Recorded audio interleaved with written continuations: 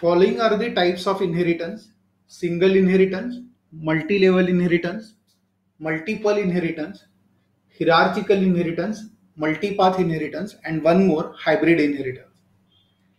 Single inheritance is class B is derived from class A.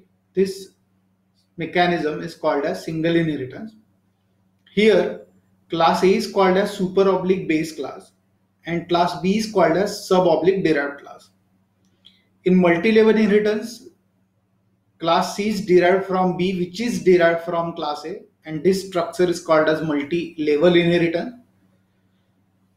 Here derived class C is derived from multiple base classes A and B. That's why it is called as multiple inheritance. Hierarchical inheritance, a single base class having multiple derived classes and the multi-path inheritance. Apart from this, if more than one inheritance scheme is joined together to create a combination of it is called as hybrid inheritance. How to do the code in inheritance? Okay, let's try to understand that.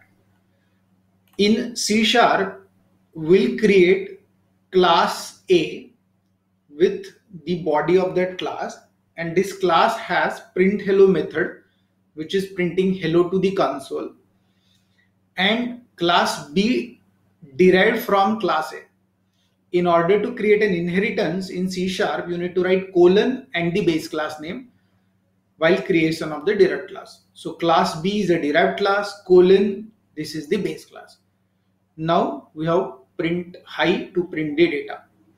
So here single inheritance is being done.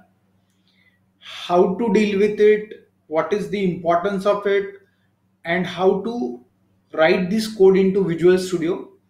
We'll see everything in our upcoming sessions. Thanks.